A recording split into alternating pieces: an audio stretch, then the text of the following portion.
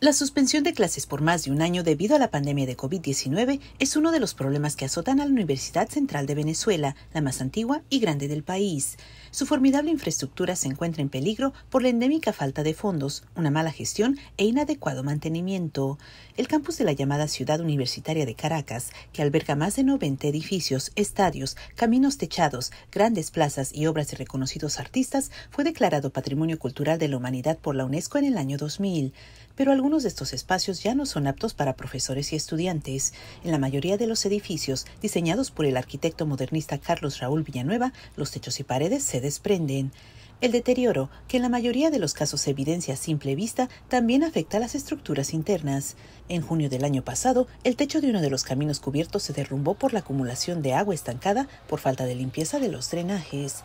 Para muchos la distinción como patrimonio cultural de la humanidad ha ahondado el problema, ya que hasta el más pequeño arreglo es sometido a largas y estériles discusiones y termina por postergarse indefinidamente. La declaración de patrimonio ha sido también como que una maldición para la universidad. ¿Y por qué lo decimos? Porque bueno, cuando surgen iniciativas desde el sector estudiantil, del sector privado, para arreglar algunas cosas que se pueden solventar dentro de la universidad, nos encontramos con barreras burocráticas y el no rotundo del el Consejo de Preservación y Desarrollo COPRED. Entonces tenemos que organizarnos para, para no abandonar nuestros espacios. claramente no es nuestra labor. Como estudiantes no deberíamos hacer labores de mantenimiento. Pero si no lo hacemos nosotros, no lo va a hacer más nadie. Autoridades universitarias y miembros del Consejo de Preservación y Desarrollo, que tiene a su cargo velar por la preservación de la universidad, no respondieron a The Associated Press su solicitud de comentarios.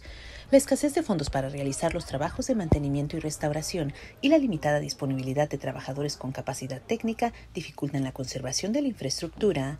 La Universidad Central, que a lo largo de los siglos cambió varias veces de ubicación, fue donde germinó la lucha independentista en el siglo XIX y las luchas democráticas en el siglo XX. En la actualidad, sus estudiantes y autoridades se encuentran entre los más acérrimos críticos del gobierno. Rosalba Ruiz, Associated Press.